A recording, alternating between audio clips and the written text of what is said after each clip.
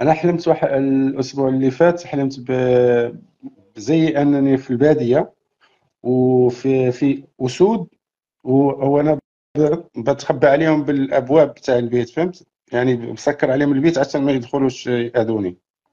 يعني ممكن أعرف تفسير هذا الحلم؟ شوف يا سيدي الكريم أنا عايز أقول لك على حاجة. أنت بتشتغل إيه؟ في شركة في إسبانيا. آه. عارف الأسود دولت؟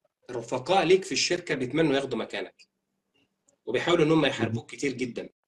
وفي ناس يعني سبحان الله ربما انهم يكونوا مش متقبلينك في العمل ولكن ربنا سبحانه وتعالى على كل بينصرك عليهم صحيح؟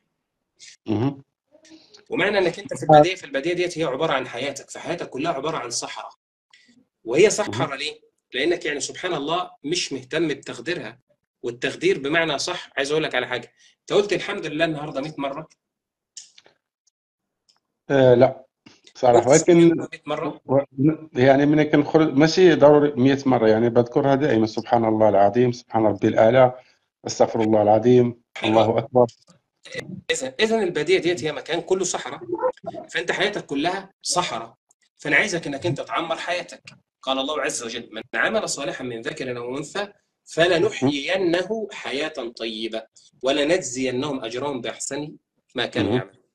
قال الله عز وجل فنجعل الذين آمنوا وعملوا الصالحات سواء محياهم أم حسب الذين اشترحوا السيد أن نجعلهم كالذين آمنوا وعملوا الصالحات سواء محياهم ومماتهم ساء ما يحكمون. فأنت البادية اللي موجودة عندك ديت عشان تخليها كلها شجر وتخليها كلها أنهار وأخضار وخضار لازم أنك أنت تتزود من الأعمال الصالحة ودي الرسالة ليك. ثانيا لما تتزود من الأعمال الصالحة يمكنك الله عز وجل من أعدائك ومن أعدائك الأسود اللي انت شفتهم بيحاولوا إن هم يقتحموا عليك الباب. ومعنى إنك انت أغلقت الباب فمعناته إن أي كيد وأي مكر وأي فعل بيحاق بك يخرجك الله عز وجل منه كأن شيئا لم يكن. سبحان الله. شكرا لك يا أخي الفاضل وأتمنى لك مسيرة موفقة ونجاح دائم إن شاء الله. اللهم